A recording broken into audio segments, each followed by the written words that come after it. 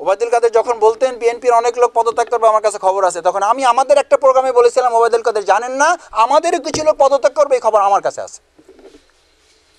এটা ওবায়দুল কাদের জানেন না।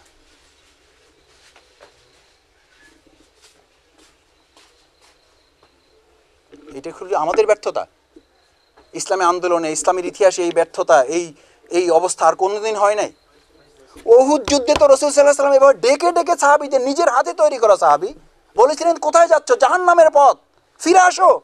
আমি তো জান্নাতের সুগ্রাণ পাচ্ছি এই ময়দান থেকে। ফিরে আসো। ফিরে এসছিলেন। কার তৈরি করা লোক?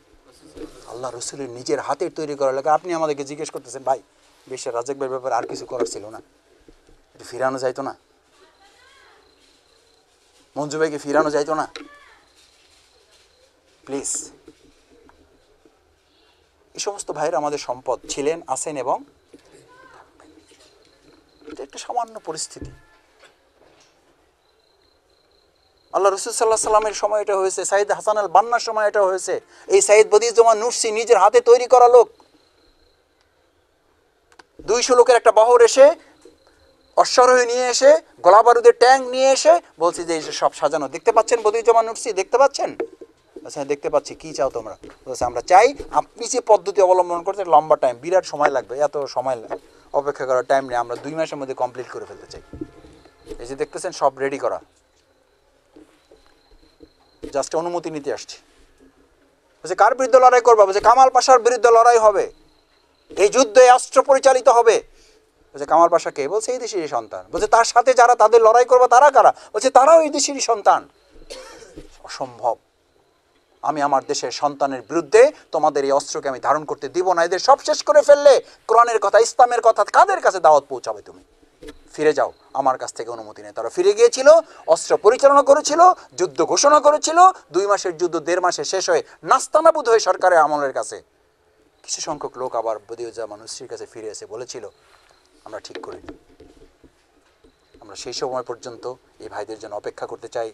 আমাদের এই সমস্ত ভাইয়েরা আবার ফিরে এসে বলবেন জামাত ইসলাম ইসলামী ছাত্র শিবির আল্লাহর উপরে ভরসা করে যে পদ্ধতিতে অবলম্বন করছে, এই পদ্ধতিতে বাংলাদেশ ইসলামী বিপ্লব হবে, ইনশাআল্লাহ।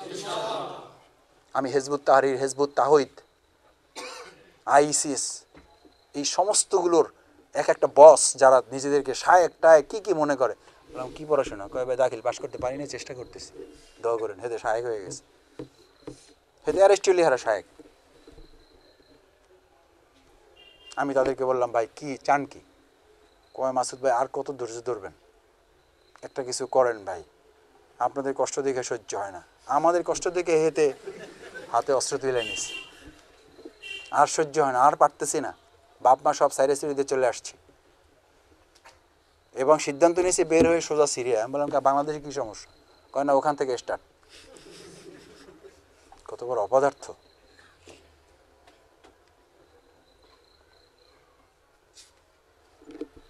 তৃতীয় পয়েন্ট কি বলেছি? ইমানদাররা যত বিপদে পড়বে, তত সে আল্লাহমুখী হবে। আপনার টার্গেট কি মুখী?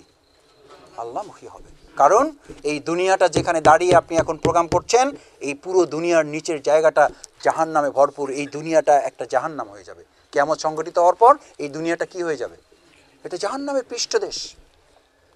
এটা জাহান নাম জাহান নামের উপরে দাঁড়িয়ে আপনি হাসছেন, খেলছেন।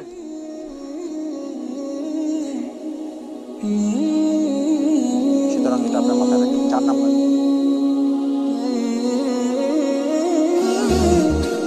Ooh.